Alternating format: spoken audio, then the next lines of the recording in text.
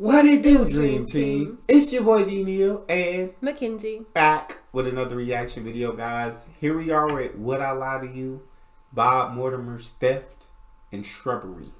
Before we dive in, make sure you subscribe, ring notification bell, the video a thumbs up, and let's do it. As a teenager, I used to terrorize my neighborhood with a game I invented called Theft and Shrubbery. What were the rules of theft and shrubbery? Can I first of all say my memories of this are a bit sketchy?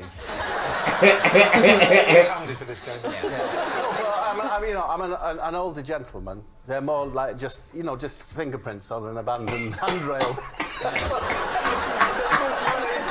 Even while you poetically describe the aging process, another part of your brain is inventing the rules of a fiction.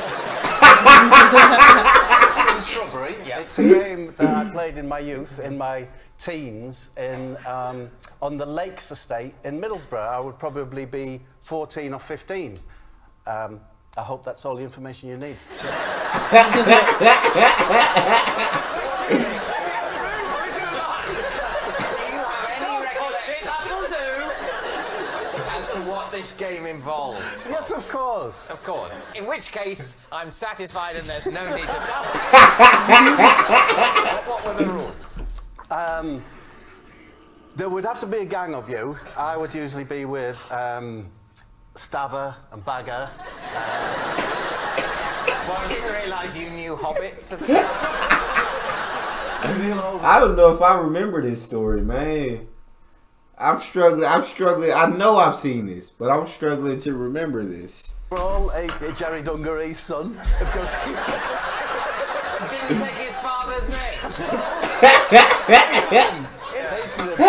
And, and, and Gary Cheeseman would be there. The reason he was called Cheesy is because his mum used to give him a cheese. Do you know the cheese slice? Yeah. To take out with him when we were hanging around the shops and that, because she wanted, because she thought it was good for spots. And she wanted to personally slice. Surely it's because of his surname Cheeseman. No, no. Surely that was part of it. Do you know, Gary Cheeseman was a big lad. Yeah, a very big head. Sniper's dream, they used to call him. Sniper's dream, nah, the next big head person. I'm kidding. I'm definitely using that though. That's going in my arsenal of jokes. like, dog, you got a sniper's dream on your shoulders. oh.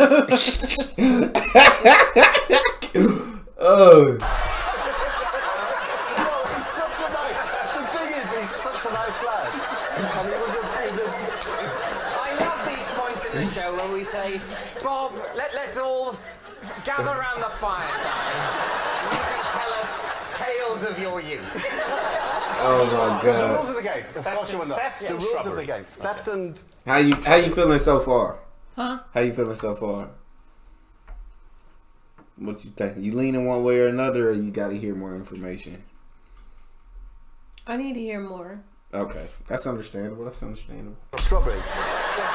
We're relatively simple. You had to creep into the back of someone's house and observe the family watching the telly or whatever they're doing, yeah? It's getting a bit sinister now, Bob. Yeah, I know. Is, is this at night? This is on the evening time, yeah. So, so, the, so the family, as it were, backlit by the yes, domestic lighting. It's beautiful. Yeah. And then you'd find one where the curtains were open, yeah? Go to the rear of the garden and then you'd slowly walk towards the window, right? Try not to disturb them, and you'd chant, increasingly, increasing the, vo- the uh, volume as you went. We do beg your pardon.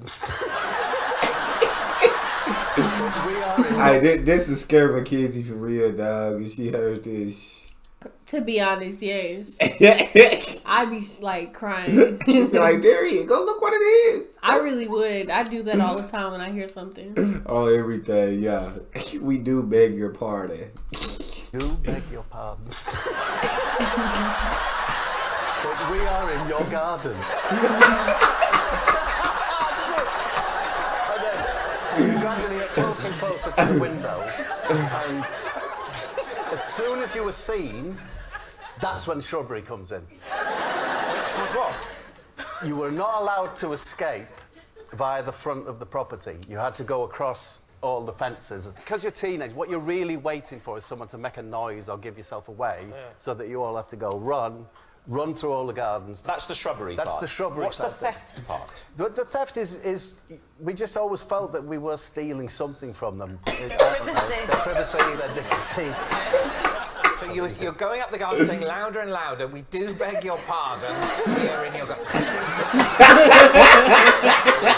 do beg your pardon. We are in your garden. You're shouting. How, how loud? How loud would Elderly you get? people who are hard of hearing, you could be going, we do beg your pardon! Will they notice it? Yeah. This game can't have lasted, I'm imagining, very long before people kind of rumbled you and. No, it was just one of the games, you know, you, you- that we did. It could be um, theft and shrubbery night. There was another night where we used to take fruit from um, a fruit vendor's wagon and throw that up in the air and just let it drop on our heads. Something tells me you played that quite a lot, Bob. next, time, next time, don't use melons. Cheeseman was very good at it. So what do you think, David? Steve, You got the information given to you. What we thinking? I'm gonna say it's the truth. It's the truth. You think they played this game called Theft and Shrubbery? Yeah. It sounds like something a kid would do. We do beg your pardon. We're Yeah, in your your garden. garden. I would go around chanting that. Yeah, I can see. I can see people like running over the fence. Teenagers wanting to jump over fences to get away and all doing all that. Yeah, and scaring people. Yeah, he said, "What was the theft part? We felt like we were stealing something from them. Their privacy." nah, they Feel safe in their home. we stole their sense of security. I don't know. I, I feel like if I didn't see who was out there, I would feel like Yeah, we gotta move. yeah. It's, I, it's some spirits in the backyard. I dawg. swear, they'd be like, they'd be like, what they saying? I swear, dog. Cause hey, I done seen enough movies, dog. I ain't messing with it. And Kinsey get possessed, that's gonna be the end of me and Kinsey, dog. In the movies, they be trying to stay with their loved ones. I be like, nah.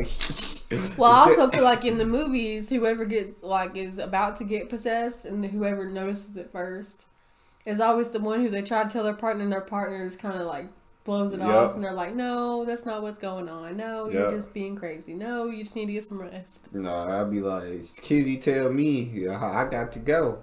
I You gonna take me with you? be like, I'm gonna hit you up in about a month. We gonna we gonna see how you doing. We be like, if I if I can't get in touch with you in a month, I know it didn't end well.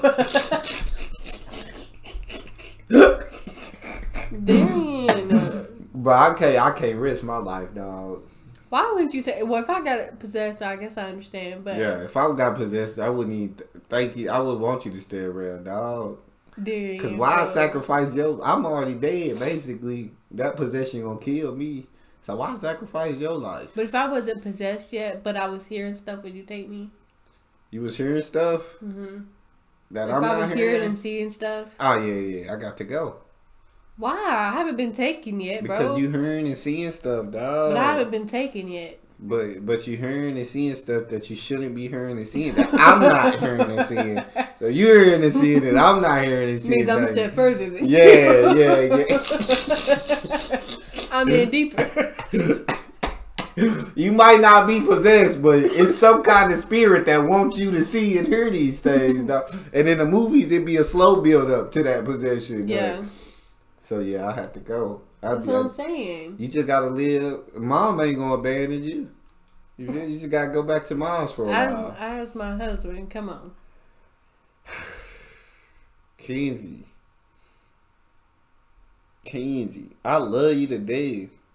But we talking about demons. we talking about the devil's work, dog. and you want me to stay around and try to save you?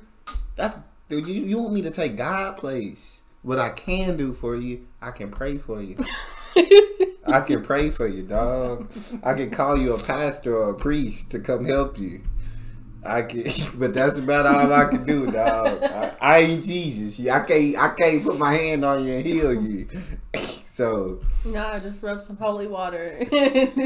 nah, I seen the way them demons react to that holy water, dog. I lose an arm trying to touch you with holy water. And some of them don't even be phased. They be laughing about it in the movies. But yeah, you get possessed, you just got to. you got to get unpossessed before we could get back together. I'm possessed. you wouldn't worry that I would get possessed again. I would worry. Or that, I would I, or watch that you. I'm technically, I basically, I'm still in there, but I would keep a close eye on you, dog. Any little any little misbehavior or out of the strange behavior that I see, I'm nah. I got to we like Kenzie. We just ain't gonna make it, dog. you wouldn't even tell me, bro. You would just leave. Yeah, Could you be afraid I kill you? yeah. I had to, dog. but I don't know how we got all the way to that point. well, you gonna see if he was telling the truth or not. You said your answer was truth, right? My, my concern is that the details are so utterly believable and sound like they're real that if it wasn't actually a game, he spent an awful lot of time looking through people's windows. Oh. Coming down on the on the side of truth. Yeah, I know it sounds odd, but I just believe it. Truly. Okay, so theft and shrubbery. Bob, truth or lie? I was telling the truth. Crazy. I told you. you done got Bob Mortimer down. You just guess true on all of his stories, don't you? No, I guess no. One time, You guess false one time. yeah, and it was, and I got it wrong. Okay. But when everybody said that they believed it, I was like, dang, I got it wrong. Because if they believe it, I'm wrong. you never know. I feel like most of the time when I'm the, I'm like the only one who do believe it. Then that's when you feel like you wrong. You never No. know with Bob, dog. Yeah, you never know. That's all we got. Y'all make sure y'all subscribe, ring notification bell, get a video a thumbs up. We out.